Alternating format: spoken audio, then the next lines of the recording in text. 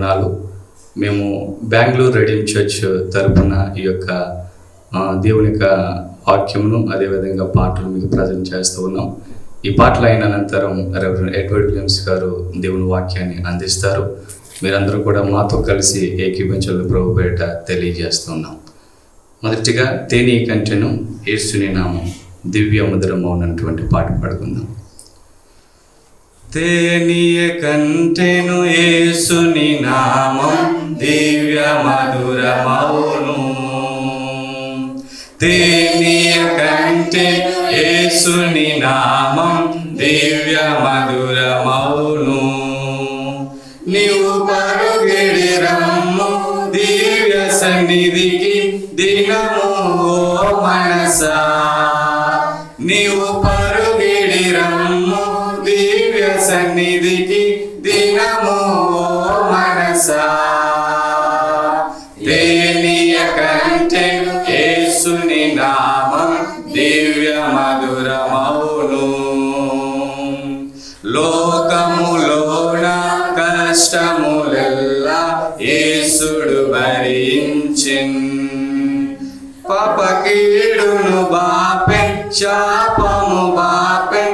తెలుసుకో మనసా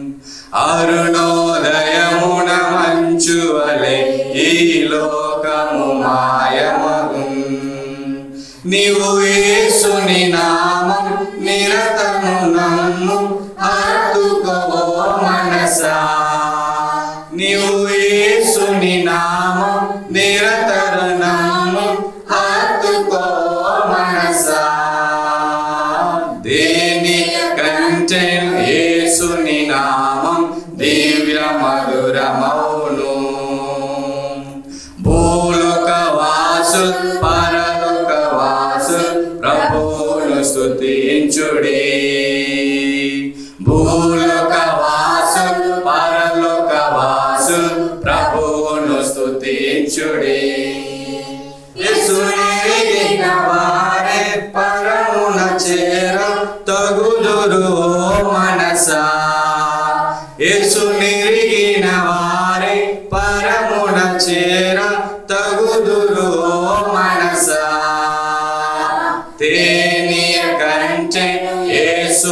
నామం దివ్య మధురమౌను.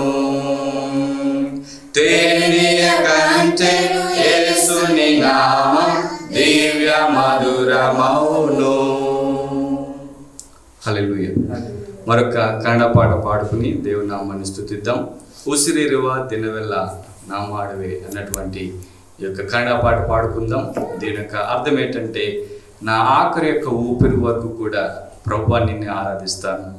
తండ్రి కుమార పరిశుద్ధాత్ముడ నిన్నే ఆరాధిస్తాను. నా కొండ నేను ఆరాధిస్తా నా కోట నేను ఆరాధిస్తా అనేటటువంటి అర్థం ఇచ్చేటటువంటిని మనం అందరం కూడా కలిసి పాడుకుని దేవుడి నామాన్ని స్థుతిద్దాం. ఉసిరిరువాది నా మెల్ల ఆరాధనే. ಉಸಿರಾದ ಯೇಸುವಿಗೆ ಆರಾಧನೆ.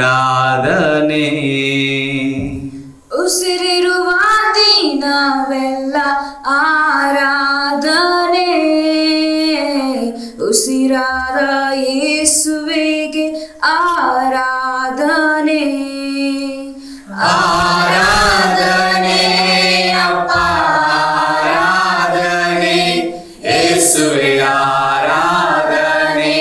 आत्मनेया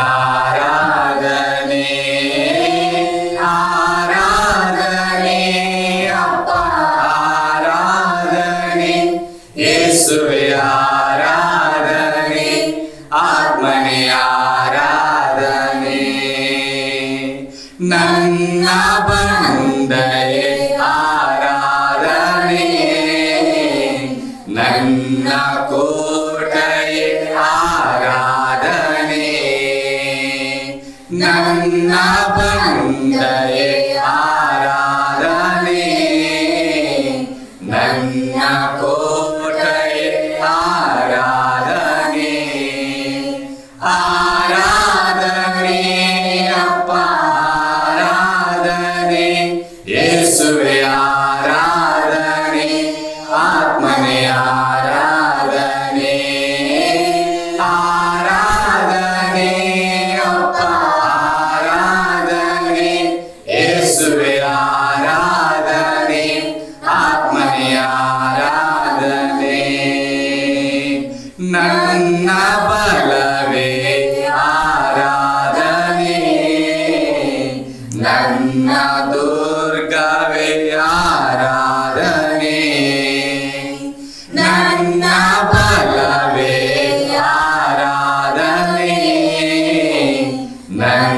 Ador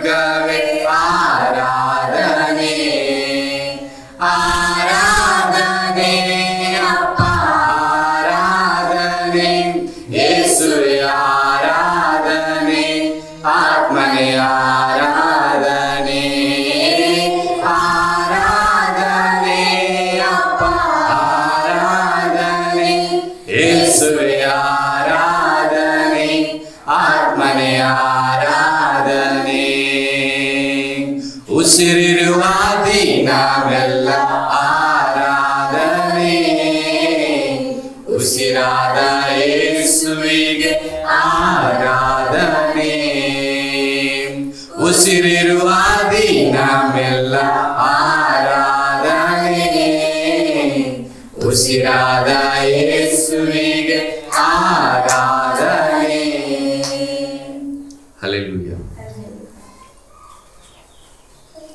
చరిత్రలో జరిగినటువంటి ఒక చిన్న సంఘటన ద్వారా ఒక చిన్న పాఠాన్ని మనం నేర్చుకోవడానికి ప్రయత్నం చేద్దాం. హ్యూ లాటిమర్ అనేటువంటి ఆయన పద్నాలుగు వందల తొంభై సంవత్సరం ఇంగ్లాండ్ దేశంలో ఆయన ఇంగ్లాండ్ దేశంలో దిద్దుబాటుకి ప్రాముఖ్యమైనటువంటి వ్యక్తి అని చాలామంది నమ్ముతారు. అయితే హ్యూ లాటిమర్ జీవితంలో జరిగినటువంటి ఒక సంఘటన తన జీవితంలో గొప్ప మార్పుకి కారణం అయింది. ఆ సంఘటన ఏంటి అనేది మనము తెలుసుకున్నాం హ్యూ లాటిమర్ రోమన్ క్యాథలిక్ సిద్ధాంతంలో చాలా చక్కగా ఎదుగుతూ ఉన్నాడు. ఆ సిద్ధాంతానికి అనుగుణంగా దేవుని వాక్యాన్ని ఎలా బోధించాలో అలాగే బోధిస్తున్నాడు.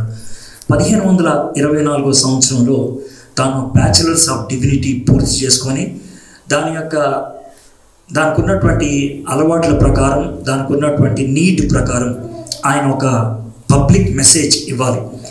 ఆ వర్తమానంలో మార్టిన్ లూథర్ని మెలాంటర్ని ఆయన చాలా తప్పు పడుతూ బైబిల్ అందరూ చదవకూడదు. రక్షణ అనేది ఒక వ్యక్తి పాస్టర్ గారి దగ్గరకు వచ్చి పాపం ఒప్పుకుంటేనే జరుగుద్ది. పాపపు క్షమాపణ పత్రాన్ని సంఘమే ఇవ్వాలి.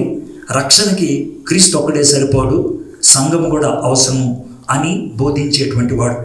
అయితే ఈ పరిస్థితిలో ఇంకొకటి జరిగింది. ఏ ఏ దినాల్లో అయితే హ్యూ లాటిమర్ పుట్టాడో అదే దినాల్లో థామస్ బిల్నే అనేటువంటి ఇంకొక బాబు కూడా పుట్టాడు. అతను పాస్టర్ కాదు అతను లా చదువుతూ ఉన్నాడు. అలాంటి చదువుకునేటువంటి దినాలలో ఆయన ఇరాస్మస్ అనేటువంటి ఆయన ముద్రించినటువంటి లేకపోతే రాసినటువంటి కొత్త నిబంధన చదువుకోవటం మొదలుపెట్టాడు. ఆ కొత్త నిబంధన తన జీవితంలో మార్పు తీసుకొచ్చింది. ఆయన ఆయన మాటల్లోనే చెప్పాలంటే థామస్ బిల్ని అంటాడు నేను క్రొత్త నిబంధన చదువుతున్నప్పుడు దేవుడు నా హృదయంలో పనిచేశాడు నాలో వేడిని పుట్టించాడు నాకు వెలుగుని కలిగించాడు అని చాలా స్పష్టంగా ఆయన చెప్తూ ఉన్నాడు. అయితే ఆయన ఈ హ్యూ లాటిమర్ అందిస్తున్నటువంటి వాక్యాన్ని విని తన హృదయంలో ఒక ప్రార్థన చేశాడు. ప్రభా can you give this soul to me ప్రభా ఈ యొక్క ఆత్మను నాకు ఇస్తావా? అని ప్రార్థన చేశాడు. పది సంవత్సరాల పాటు ఆయన హ్యూ లాటిమర్ బోధించేటువంటి వర్తమానాలు వింటూ ప్రతిసారి దేవునికి ప్రార్థన చేస్తూ ఉన్నాడు. పది సంవత్సరాల తర్వాత ఒక అవకాశం దొరికింది. ఆ అవకాశం ఏంటి అని అంటే హ్యూ లాటిమర్ వర్తమానం చెప్పి ఆయన కిందకి వస్తూ ఉన్నాడు. వస్తూ ఉన్నప్పుడు థామస్ బిల్నే అతని దగ్గరికి వెళ్ళి నీ దగ్గర నా పాపాన్ని ఒప్పుకోవచ్చా? అని అడిగాడు. రా అని గదిలోకి తీసుకెళ్ళాడు. రోమన్ క్యాథలిక్ వ్యవస్థలో ఉన్నటువంటి పద్ధతి ప్రకారం థామస్ బిల్నే మోకరించాడు. హ్యూ లాటిమర్ కూర్చొని ఉన్నాడు. మధ్యలో ఒక గోడ లాంటిది ఉంటుంది.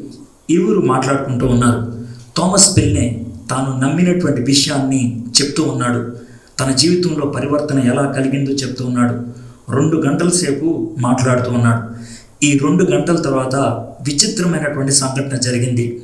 ఎక్కడైనా జరిగేది ఏంటంటే పాస్టర్ గారు కూర్చొని ఉంటాడు. పాపాన్ని ఒప్పుకునేటువంటి వ్యక్తి మోకరించి ఏడుస్తూ ఉంటాడు. కానీ ఇక్కడ విరుద్ధంగా జరిగింది ఎలాగనంటే హ్యూ లాటిమర్ ఆయన పాస్టర్ గారు పాపాన్ని క్షమించాలి కానీ ఆయన మోకరించి పాపాన్ని ఒప్పుకోవటం మొదలుపెట్టాడు. హ్యూ లాటిమర్ జీవితంలో గొప్ప మార్పు కలిగింది. ఆయన ఆ రోమన్ క్యాథలిక్ వ్యవస్థ నుంచి బయటకు వచ్చేశాడు. యేసుక్రీస్తే రక్షకుడు అనేటువంటి విషయాన్ని చాలా స్పష్టంగా చెప్పడం మొదలుపెట్టాడు. బోధించడం మొదలుపెట్టాడు. తిమోతికి రాసినటువంటి మొదటి పత్రిక మొదటి అధ్యాయం పదిహేను వచనంలో ఉన్నటువంటి భాగం వారి యొక్క జీవితాన్ని ఆ రోజు ప్రభావితం చేసింది. ఆ వాక్యాన్ని అతను చదివి వినిపించాడు. పాపులు రక్షించుటకు క్రీస్తు యేసు లోకమునకు వచ్చిన వాక్యము నమ్మ నమ్మదగినది పూర్ణాంగీకారమునకు యోగ్యమున్నదై ఉన్న- ఉన్నాయి ఉన్నది. అటు వారిలో నేను ప్రధానుడను. ఆ మాట హ్యూ లాటిమర్ జీవితాన్ని పట్టుకుంది. ఆ మాటనే ఆ రోజు థామస్ బిల్నే చదివి వినిపించడం మొదలుపెట్టాడు. సరే అది అయిపోయిన తర్వాత హ్యూ లాటిమర్ బయటకు వచ్చేసాడు ఆయన అద్భుతంగా దేవుని వాక్యాన్ని బోధిస్తూ ఉన్నాడు. హ్యూ లాటిమర్లో ఉన్నటువంటి మార్పుకి కారణం ఎవరు అని వెతుకులాడితే థామస్ పిల్నే అనే విషయం అర్థమైంది. థామస్ పిల్నేని వాళ్ళు నిలదీశారు. థామస్ పిల్నే భయం వేసి తాను ఇంకెప్పుడు మాట్లాడను అని తాను తప్పించుకోవడానికి ప్రయత్నం చేశాడు. కొంతకాలం ఆయన విడుదల కలిగించారు. కానీ హృదయంలో చాలా కృంగిపోయాడు. ప్రపంచంలో ఎవరిని కలవటం మానేశాడు. మూల కూర్చొని ఉన్నాడు. అలాంటి వ్యక్తి దగ్గరికి వెళ్ళి థామస్ పిల్లేని మళ్ళీ పైకి లేవనెత్తుకొచ్చింది ఎవరో కాదు తను ప్రభువులోకి నడిపించినటువంటి హ్యూ లాటిమర్. ఆ తర్వాత థామస్ బిల్నే మళ్ళీ సంతోషంగా దేవుని వాక్యాన్ని బోధించడం మొదలుపెట్టాడు. ధైర్యంగా చెప్పడం మొదలుపెట్టాడు. ఆ సమయంలో ఉన్నటువంటి బిషప్ గారు బిషప్ రిచర్డ్ నిక్స్ అనేటువంటి ఆయన థామస్ బిల్నేని ఈసారి గట్టిగా అడిగాడు. థామస్ ఈసారి రాజీ పడడానికి ఇష్టపడలేదు. థామస్ని కాల్చి చంపేయాలని నిర్ణయించారు. ఆగస్టు పంతొమ్మిదో తారీఖు పదిహేను వందల ముప్పై ఒకటో సంవత్సరం ఆయన్ని కాల్చి చంపారని నిర్ణయించుకున్నారు. అయితే దానికి ముందు రోజు తన స్నేహితులందరితో కలిసి చివరిగా ఆయన భోజనం చేశాడు. భోజనం చేసిన తర్వాత వాళ్ళ దగ్గర ఉన్నటువంటి ఒక చిన్న ల్యాంప్లో ఆయన చిటికిన వేలును పెట్టి కాల్ చేసుకోవడం మొదలుపెట్టాడు. ఏంటి కాల్ చేసుకుంటున్నావు? అన్నారు. ఎముకు కూడా బయటపడే పరిస్థితి వచ్చింది. అప్పుడు అన్నాడు నేను నా శరీరాన్ని కాల్చుకుంటాను? చిన్న భాగాన్ని కాల్చుకుంటున్నాను. రేపు నా పూర్తి శరీరాన్ని దేవుడు కాల్చేస్తాడు. ఆయన దగ్గరికి నేను వెళ్తాను అని చెప్తూ ఆయన యష్యా గ్రంథం నలభై మూడో అధ్యాయం రెండో వచనాన్ని చదివి వినిపించాడు. నీవు జలములలో బడి దాటినప్పుడు నేను నీకు తోడే ఇందును నదులలో బడి వెళ్ళినప్పుడు అవి నీ మీద పొదిలి పారవు నీవు అగ్ని మధ్యను నడిచినప్పుడు కాలిపోవు జ్వాలలు నిన్ను కాల్చవు. జ్వాలలు నిన్ను కాల్చవు అనేటువంటి మాటని ఆ రోజు ఆయన జ్ఞాపకం చేసుకున్నాడు. తర్వాత రోజు థామస్ బిల్నేని కాల్చి చంపేస్తున్నప్పుడు చనిపోయే చివరి క్షణాల్లో అరుస్తున్నాడు ఏసైని నమ్మండి ఏసైని నమ్మండి అనేటువంటి మాట. థామస్ బిల్నే హ్యూ లాటిమర్ వీరి ఇరువురి మధ్యన జరిగినటువంటి విషయాన్ని కనుక మనం గమనిస్తే రెండు పాఠాలు నేర్చుకుంటాం. ఒకటి థామస్ బిల్నే తాను పెద్ద తత్వవేత్త కాదు పాస్టర్ గారు కాదు బైబిల్ పండితుడు కాదు. కానీ ఒకటి యేసు ప్రభుని సొంత రక్షకుడిగా అంగీకరించినటువంటి వ్యక్తి కేంబ్రిడ్జ్ యూనివర్సిటీలో పట్టభద్రుడైనటువంటి వ్యక్తికి యేసు ప్రభుని పరిచయం చేశాడు. యేసు ప్రభుని ఇతరులకు పరిచయం చేయడానికి నీకు కావాల్సిందల్లా అనుభవం మాత్రమే రక్షణ మాత్రమే అది ఉంటే చాలు. ఇతరులను ఒప్పించేది మన తెలివితేటలు కాదు మనకున్నటువంటి వాగ్దాటి కాదు మనకున్నటువంటి తత్వజ్ఞానం కాదు. యేసు ప్రభువును ఇతరులు ఒప్పుకునేటట్లు చేసేది ఒకటే అది పరిశుద్ధాత్ముడు. కాబట్టి అది జరిగింది. నీవు ఈరోజు యేసు ప్రభుని ఎరిగినటువంటి వ్యక్తివైతే ఇతరులకు చెప్పడానికి సంకోచిస్తున్నావా? ఎప్పుడు ప్రయత్నం చేయలేదా? భయపడ్డావా? నాకున్నటువంటి జ్ఞానం సరిపోదు అని ఆలోచించావా? థామస్ బిల్నే జీవితాన్ని బట్టి అర్థం చేసుకో. థామస్ బిల్నే ఇతరులకు యేసు ప్రభును బోధిస్తే ఆ వ్యక్తే తిను పడిపోయినప్పుడు జారిపోయినప్పుడు లేవనెత్తడానికి దోహదపడింది. ఆ విధమైనటువంటి జీవితం చిట్ట చివరికి ఎటువంటి స్థాయికి ఎదిగిందో చూడండి. ఆయన క్రీస్తు కోసం సాక్షిగా చచ్చిపోవడానికి ఇష్టపడ్డాడు. తాను ఎవరికైతే సువార్త చెప్పాడో అతను ఇంగ్లాండ్ దేశాన్ని ప్రభావితం చేయడానికి కారకుడయ్యాడు. మీరు చదువు లేని వాళ్ళు అయ్యొచ్చు అవి ఉండొచ్చు డబ్బు లేని వాళ్ళు అయి ఉండొచ్చు పెద్ద సంస్థ మీకు ఉండుండకపోవచ్చు. కానీ ఒక విషయం గుర్తుపెట్టుకోండి. ఏంటి అంటే యేసు ప్రభువుని మీరు సొంత రక్షకుడిగా అంగీకరించినట్లయితే మీరు ఇతరులకు చెప్పినట్లయితే వాళ్ళు మహానుభావులు అవ్వచ్చు. ఎవరికైతే నువ్వు బోధించావో వాళ్ళే మీకు ఆత్మీయంగా తర్వాత సహాయం చేసే వాళ్ళు అవ్వచ్చు. ఈరోజు ఈ పాఠాన్ని మనం నేర్చుకుందామా? చిన్న ప్రార్థన చేసుకుందాం. మా దేవ మా ప్రభా మీరు మమ్మల్ని రక్షించింది మీ ఆత్మకార్యం మా జీవితంలో జరిగించింది. ప్రభా మేము ఇతరులకు సాక్షులై ఉండాలని. మీరు ఇక్కడే ఉండండి నేను పరిశుద్ధాత్మను పంపిస్తాను. అప్పుడు మీరు నాకు సాక్షులై ఉంటారని. ఎవరి జీవితాల్లో అయితే పరిశుద్ధాత్ముడు ఉంటాడో ఎవరి జీవితాల్లో అయితే నిన్ను సొంత రక్షకుడిగా అంగీకరిస్తారు ప్రతి ఒక్కరూ సాక్షులై ఉండాలి ప్రభా. ఆ విధంగా సాక్షులై ఉండగలటకు ప్రభా మమ్మల్ని పురికొల్పమని బలపరచమని ధైర్యాన్ని అనుగ్రహించమని ఈ వాక్యాన్ని మా జీవితానికి ఆశీర్వాదకరంగా చేయమని ఏసే నామంలో ప్రార్థన చేయించున్నాం. ఆమె ఆమె